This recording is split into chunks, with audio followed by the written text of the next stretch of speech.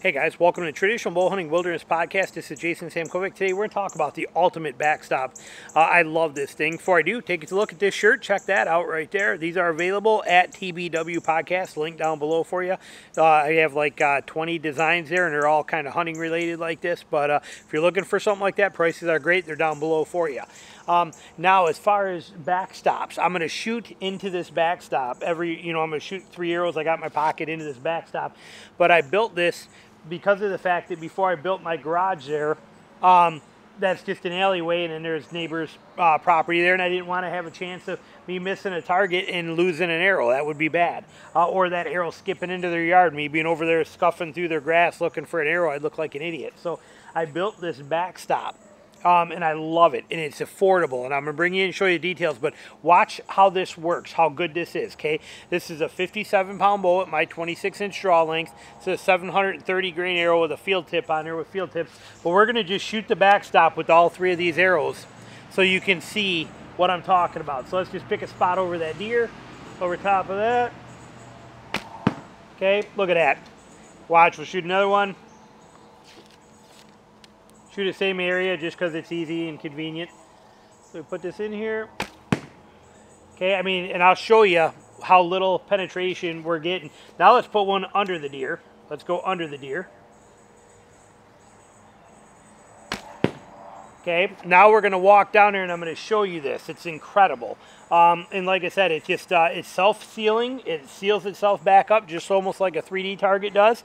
Uh, let's walk to, actually I'm gonna pause you up. Okay, so what do we have here? Okay, as you can see, they bear, they don't even really go in. Okay, I'll bring you in and show you a close-up of this here too. So you can see that. We won't bring you back out over here, but you can see that they, they don't barely do anything. You can see I've missed a couple of times. There's a few little dings in there, uh, you know, from it. But uh, for the most part, they just don't, you know, you can see that one down there lower too. They barely even put a mark. Here's another mark from one that I've missed. Sorry, I'm working around my tripod here. But there's another little mark right there. They almost reseal up. Um, and, uh, you know, like I said, I don't, miss a lot. so uh, it's not a ton of them. These are actually marks from the actual thing. But uh, you can see that's an actual hit. Um, and uh, that's probably one down there. Um, but like I said, not too often, but they hold up um, incredible.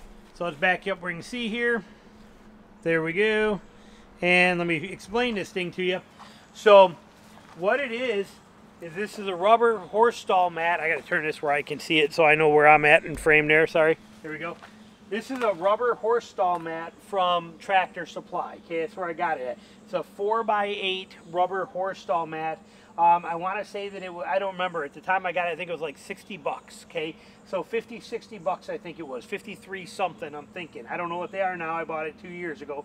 But that horse stall mat's been hanging here in the Georgia heat for two straight years. It has been here all the time, sun beating down on it. Um, but it's a horse stall mat. It's a 2x4 frame, 2x4 legs that you can see down here. And then I, because I wanted a little more space for protection on there, again, depending on how big or tall my targets were, what I was going to put here, um, I have a, uh, um, a piece of down here is a uh, one by six down on the bottom.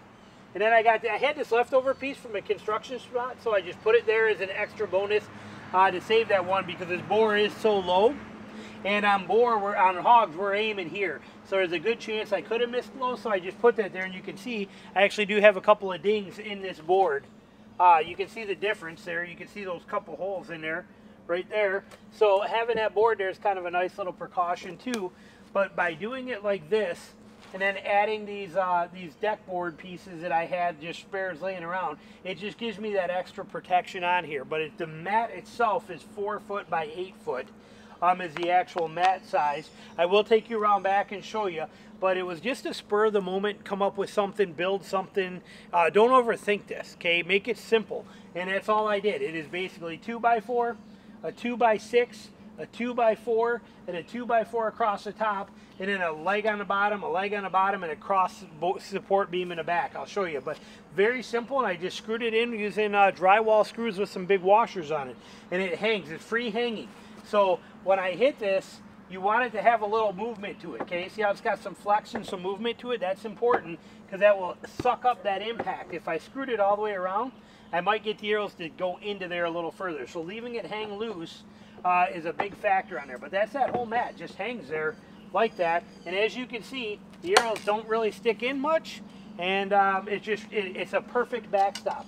I'm going to take you now, I'm going to pull you off of the uh, tripod and bring you around back so I can close up so I can show you the construction of this thing. So we'll be right back. I got to change the um, stabilization mode on this and that kind of stuff. I'll be there in one sec. Okay, so we're going to take a look at this dude here. So as you can see as we come around, again, I got it tucked into the woods. That's why I want it, where I pinned it at here. But you can see that there is a crossbar support right here, a 2x4 that goes all the way down and goes right to that bottom 2x4 leg that is running there that's kind of buried in. But it's all it is, and that's the whole support structure. Uh, I might be able to see more, but like I said, I got this all kind of jammed in here and tucked in. But there's that horse stall mat right there. You can see the washers and the drywall screws that just screw it right into that 2x4.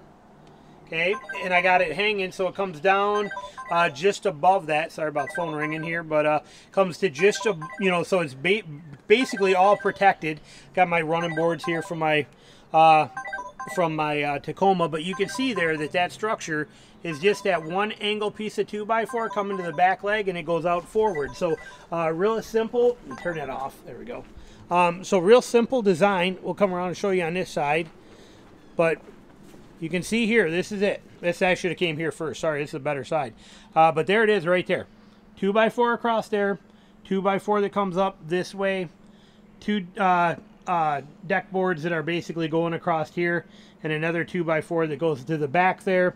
And I just did just put like a little brace in there just to connect them together. As you can see right there um, you know, that little hunk of 2x4 so they had something to screw into. But don't overthink it. Don't complicate it. You know, if you want to make a different design, make a different design. The whole key to this is getting that mat to be where you want it at so you have the protection. So uh, simple, functional, works like a champ. I painted my green because I'm in, again, I'm in Georgia. This bush stays green all year long. So it kind of stays tucked in and hidden in here, uh, buried in. It doesn't look out of place like I said, it's just, uh, you know, it works fantastic. And I have two targets on there, a deer target and, uh, you know, that hog target, the two main things I'm hunting. So uh, just a simple, functional kind of way to do one. But that backstop was dirt cheap in cost to build, and it's been incredible. Again, I'll show you some of those arrow hits we just did. Like I said, they seal up really good. So here is, right here is one of those hits we just did. And the other one is down here somewhere. Uh, I think it is probably that one because it's the newest one. Where's my finger at? Right there. So that one. Um, but like I said, you can see that they just seal right back up. This thing should last me many, many, many years. Um, and for a total cost, even if you were to buy the lumber and all the stuff like that to do it, you're still you're you're like probably 65 bucks, 70 bucks maybe. I'm guessing. I don't know for sure, uh, but it is not very expensive to do. This was a very simple. Uh, it took me about one hour to build it. All I did was lay the mat out on the ground, lay the two by fours next to it, and uh, screwed in the top board, and then I uh, screwed in the bottom board. So I mean, I, I didn't even use a measuring tape for any part of this. I let the uh, the actual mat here be the game that is what uh, actually made my decisions for me on there. So like I said I laid it out. I laid that 2 by 4 across the top screwed it into it. Put the two cross 2 by 4s on it put the bottom one on screwed it together. Just simple easy functional and then I just uh, stood it up and I put the legs on. And then I put a cross brace. I mean it was like I said there's no measuring or nothing here. Uh, I did cut these nice and clean on there but not super clean. I didn't cut the insides. Like I said I didn't get carried away. So keep it simple keep it easy. And uh, but like I said very functional uh, well cleaned up and disguised kind of backdrop that kind of tucks into wherever you want to put it. So um, all right hope you enjoyed it. Thanks for watching. Talk to you soon. Bye